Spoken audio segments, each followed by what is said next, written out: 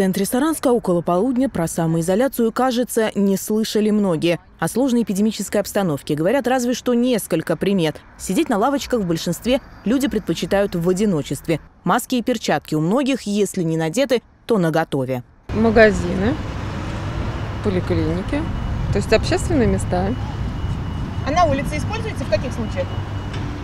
На улице, если рядом людей нет, конечно же, снимаю. Воздухом подышать хочется свежим. На улице мы ходим в масках. Это что, я знам друг дружку, мы уж маленько нос открыли. В общественных, в магазинах все обязательно строго, в аптеках, ну, в местах, где людно.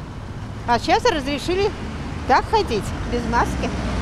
Ходить на улице так, без маски и подышать свежим воздухом ВОЗ рекомендуют только при условии соблюдения социальной дистанции. А вот если в радиусе полутора метров есть люди, высовывать нос из маски не советуют. Все потому, что бессимптомных больных много, и каждый, кто находится рядом, может быть потенциальным источником вируса. Наш случайный герой Василий Калмыков, студент первого курса Мордовского госуниверситета, рассказывает, выходить старается только в случае крайней необходимости. Общественному транспорту предпочитает передвижение пешком, ответственность осознает. Потому, например, в магазинах не стесняется делать замечания тем, кто средства индивидуальной защиты игнорирует. Я сделаю замечание, можно сказать, по-хорошему так, то, что гражданин, наденьте, пожалуйста, маску и перчатки. В основном, конечно, люди доброжелательные, и они, скажем так, исполняют мое желание, вот. А некоторые, конечно же, очень смотрят на это скептически и даже порой могут поругаться.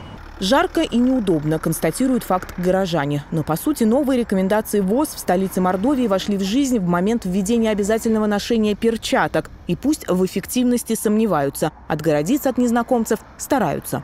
Ну, пускай 10%. Но, тем не менее, вы пользуетесь.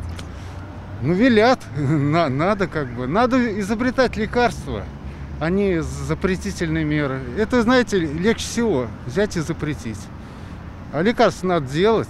Пока весь мир ждет спасительную вакцину, индивидуальные средства защиты и соблюдение социальной дистанции остаются единственными мерами профилактики распространения коронавируса. А новые рекомендации ВОЗ для Мордовии оказались не такими уж новыми. Светлана Лашина, Павел Толобаев. Наши новости.